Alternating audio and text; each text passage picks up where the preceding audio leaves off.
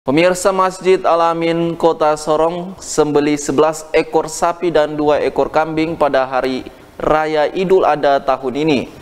Daging kurban dibagikan kepada warga yang terdampak pandemi COVID-19 di Kota Sorong.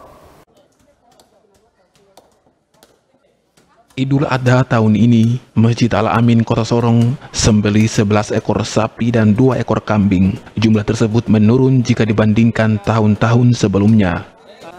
Ketua Panitia Kurban Masjid Al-Amin, Ervan Jimsar, mengatakan menurunnya jumlah hewan kurban pada dua tahun terakhir ini karena pengaruh COVID-19.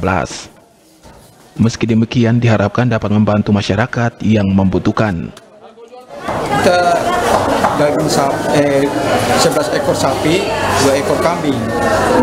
Dan yang dibagikan di lingkungan sekitar masjid ini kurang lebih 500 500 apa namanya kupon, kupon. Daging dari 11 ekor sapi dan 2 ekor kambing yang disembeli langsung dibagikan kepada 500 warga miskin, termasuk mereka yang terdampak COVID-19.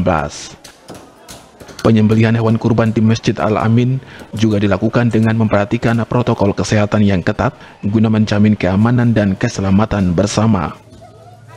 Hasim Kalirai, CWM Channel